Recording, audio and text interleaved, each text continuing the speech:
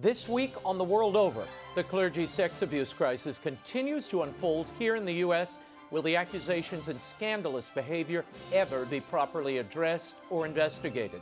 Attorney and former National Review Board member Robert Bennett is here with analysis.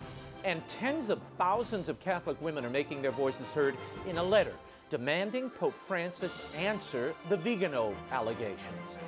That's on the world over, only on EWTN.